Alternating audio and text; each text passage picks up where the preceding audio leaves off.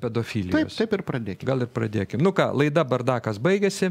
Jūs juokaujat? Pliurpalai. Tai va, apie dujas turiu pasakyti. Taigi dar apie dujas. Ai, nu taip, apie, apie, pamiršau, atsiprašau, aš manau, kad jau pasakėt. Gerai, klausom apie dujas. Tai pradžiai čia nustebo, nustebo, va dabar tie lietuviai, kad karas nevyksta.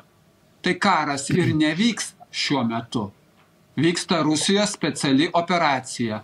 Ir Rusijos dujos per Ukrainos teritoriją teka ir Rusija kelis milijardus dolerių per metus tvarkingai Ukrainai atsiskaito ir sumoka. Viskas. Karo atveju taip negalėtų būti. Bet mano pasisakymas yra truputį apie dujas, bet Lietuvoj. Lietuvoj. Pasižiūrėjau dujų dabartinės kainas didžiausia ten birža ir taip toliau Europos. Pasižiūrėjau futuresus, reiškia ateities kainas, iki pirmą pusmetį. Pirmą pusmetį pasižiūrėjau, kokios ateities kainos numatomos. Pasižiūrėjau.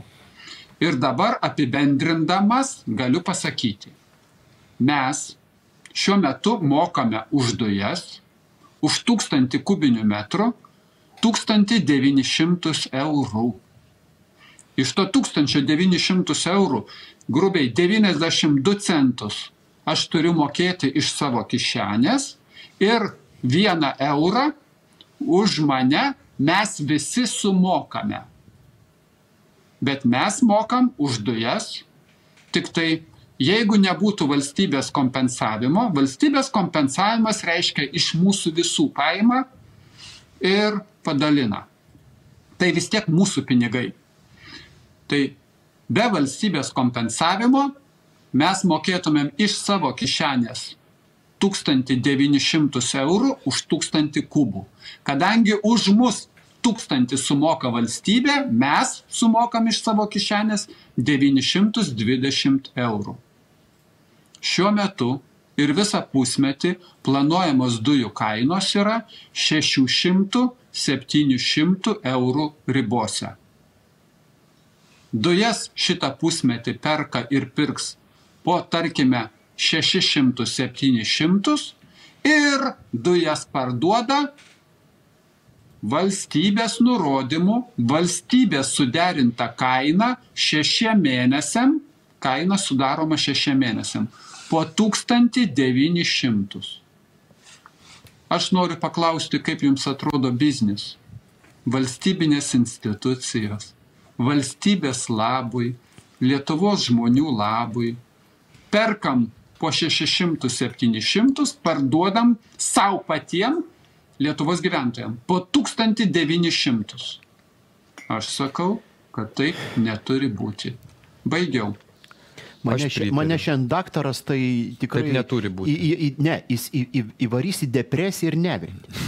Ašgi sakau, skaičiuoja ištisai pinigus. Nu, kas jums, daktarė, šiandien atsitiko visų pinigų suskaičiuoti? Paaiškinsiu. Va, daktarė, jums paaiškinsiu. Žiūrėkit, kad tokia afera mafijinė vyktų, turi visi sutikti, turi gautis mandatas tautos, kad visi sutinka ir, ir džiaugtųsi tuo. Kaip tai, su, kaip tai padaryti? Žiūrėkit, Rusija, Putinas puola, padarom kainą 3-5 milijoną už kažko, žmonės išsigasta. Tada, kad visa tai vyktų, ateina, nu, mat iš NSGK lyderiai, iš biudžeto komiteto, iš Seimo, vyriausybės ir sako, mes jums kompensuosim.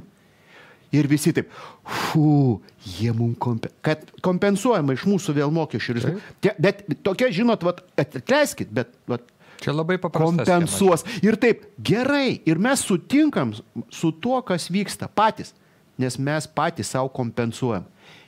Genialu.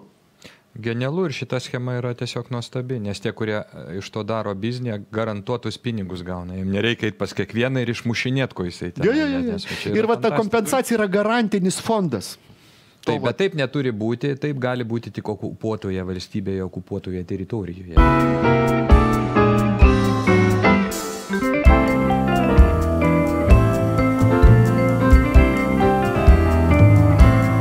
Apie pandemiją daugiau kalbėsime mažorinę, o ne minorinę natą. Lietuva.